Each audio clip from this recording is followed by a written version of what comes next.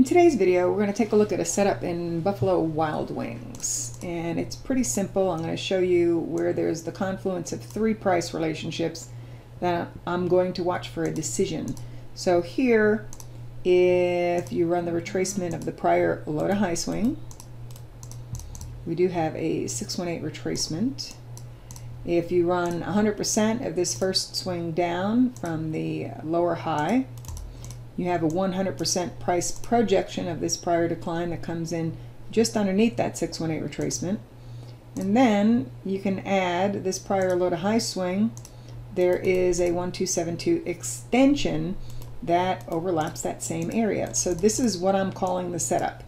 We have possible support at the confluence of these three price relationships that come in between 148.90 to 149.46.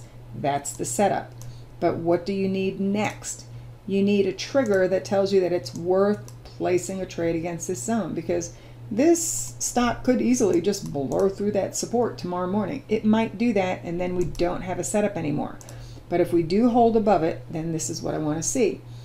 Now for an aggressive swing trade trigger, we can look at a 15 minute chart, for example. And on that chart, I typically watch the uh, 834 EMA combo and what I want to see uh, is two things. I want to see the um, breakout, the eight back above the 34 for a buy signal. And at the same time, I also want to see this take out a prior swing high, indicating at least, you know, a shift of the short-term pattern of lower lows and lower highs. So if we can see both of those things on a 15 minute chart, then I'd be willing to, you know, whatever, even put on an options strategy or just, you know, buy the stock outright some of you do it that way.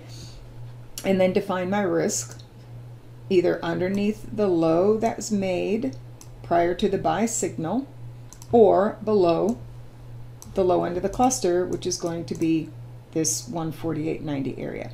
Okay, but you have to remember that the market needs to cooperate by number one, holding above the zone and then number two, triggering an entry, and then it's okay to look at an entry.